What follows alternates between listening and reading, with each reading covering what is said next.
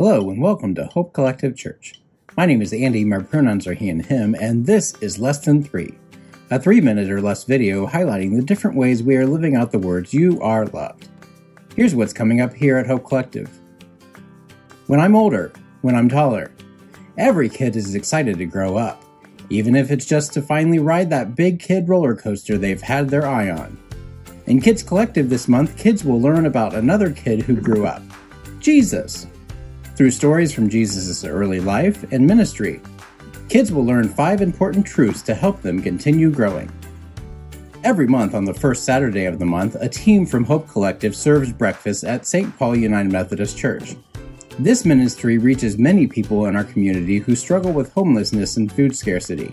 If you would like the opportunity to serve, please reach out to Pastor John at jmorgan at hopecollectivechurch.org. Hope Collective Church is joining with the NCCJ and Grace United Methodist Church to facilitate Diversity 101. Classes will be held the four Thursdays in February, starting on February 2nd from 6 to 8 p.m. at Grace United Methodist Church on Salem Avenue. Sign up on our website if you're interested in attending. Any questions? Contact Addie Webb at aweb at hopecollectivechurch.org.